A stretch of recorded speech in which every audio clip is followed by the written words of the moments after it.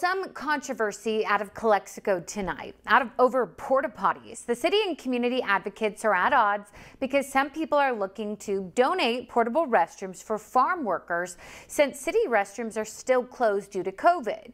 Wiley Jahari joining us from El Centro to explain. Some community members are calling this one a stinky situation, while others say it's just a misunderstanding.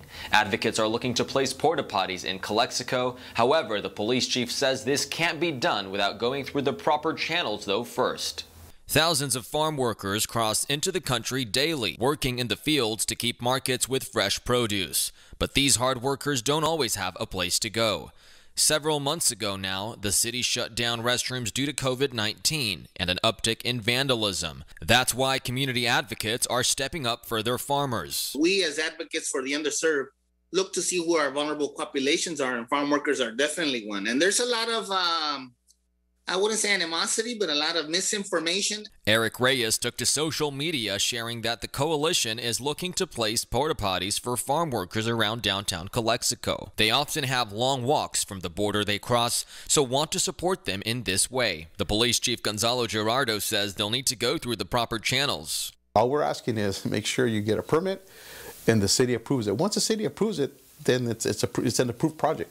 The bathrooms will essentially be for anyone to use downtown, so Reyes says that is the next step. But if we have to go through protocols, we have no issues with it. If we have to pull permits, we have no issues with it.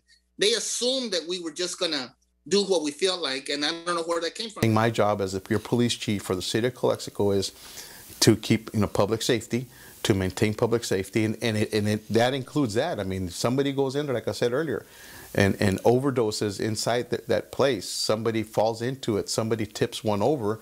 We're the first on scene. We have to mitigate that until we get the right people to get there. And again, community advocates hope these new bathrooms will make our field workers feel more comfortable and appreciated. In El Centro, I'm Wiley Jahari. Back to you.